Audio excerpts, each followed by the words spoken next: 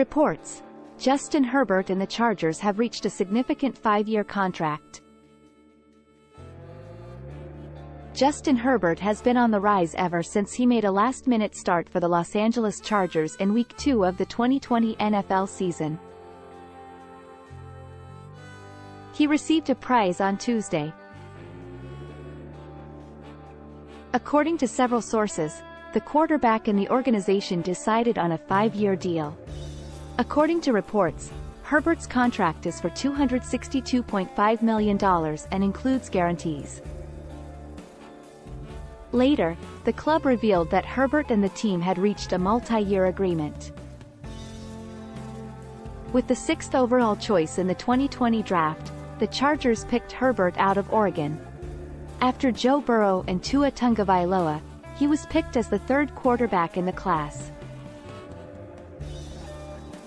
In Week 2 of the 2020 campaign, he made his debut when Tyrod Taylor had an incident with a team trainer.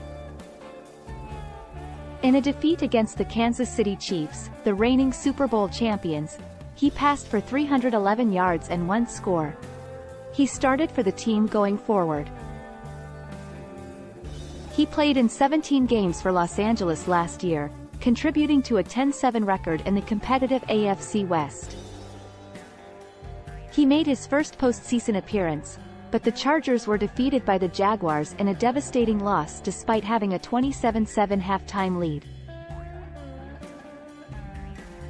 Last season, Herbert threw for 4,739 yards, 25 touchdowns, and 11 interceptions. He failed to be chosen for the Pro Bowl despite coming in eighth in the AP MVP poll. Herbert won't have to worry about money or a new contract at least until the offseason of 2030 with the club replenished and prepared to go.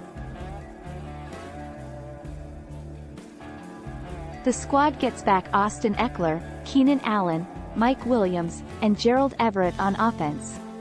In the first round of the spring draft, Los Angeles selected wide receiver Quentin Johnston, the former TCU star may have a chance to start as the team's third receiver.